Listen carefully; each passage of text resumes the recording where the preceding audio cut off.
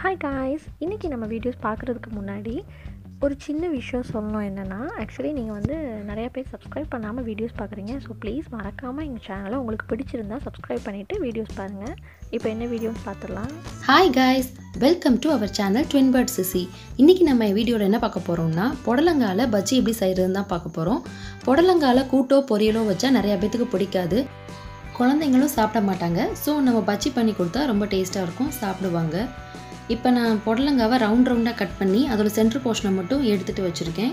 நம்ம எப்பயும் புடலங்காய் குக் பண்ணும்போது அப்படி தான் எடுப்போம். ஸோ அது மாதிரி ரவுண்ட் ரவுண்டாக கட் பண்ணி அதை எடுத்துடணும். இப்போ நம்ம பஜ்ஜி மிக்ஸ் ரெடி பண்ணிக்க போகிறோம் அதுக்காக நான் ஒரு முக்கால் கப்பு கடலை மாவு எடுத்திருக்கேன். கால் கப்பு அரிசி மாவு எடுத்திருக்கேன். ஒரு டீஸ்பூன் தனி மிளகாய்த்தூள் அதையும் சேர்த்துக்கலாம். உங்களுக்கு காரத்துக்கு எவ்வளோ தேவையோ சேர்த்துக்கோங்க. தேவையான அளவு உப்பு கொஞ்சமாக பெருங்காயத்தூள். இதெல்லாம் சேர்த்து நல்லா மிக்ஸ் பண்ணி விட்டுட்டு இட்லி மாவு பதத்துக்கு நல்லா மிக்ஸ் பண்ணி எடுத்துக்கணும். பாருங்கள் இந்த மாதிரி தான் நல்லா மிக்ஸ் பண்ணி எடுத்துக்க போகிறோம் இப்போ நம்மளுக்கு பஜ்ஜி மிக்ஸ் ரெடி ஆயிடுச்சு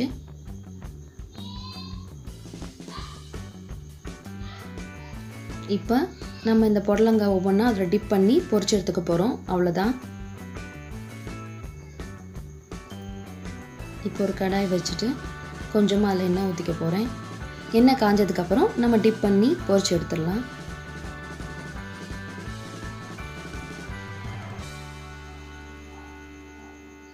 இந்த மாதிரி ஒவ்வொன்றா போட்டு எடுத்துக்கலாம். ஃப்ளேமை சிம்மில் வச்சே பண்ணுங்கள் இல்லைன்னா கருகிடும். இதே மாதிரியே எல்லாத்தையும் நம்ம போட்டுக்கலாம்.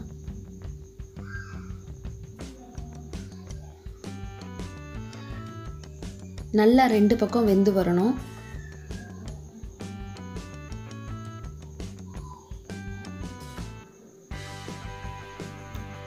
இப்போ ரெடி ஆயிடுச்சு. இது ஒரு பிளேட்டுக்கு ட்ரான்ஸ்ஃபர் பண்ணிக்கலாம். அதே மாதிரியே எல்லாத்தையும் போட்டு எடுத்துடலாம். ஃப்ளேமை சிம்மில் வச்சே பண்ணுங்கள் அப்போ தான் கரெக்டாக வெந்து வரும். நல்லா கோல்டன் கலர் வந்ததுக்கப்புறம் இதை நம்ம எடுத்துட போகிறோம்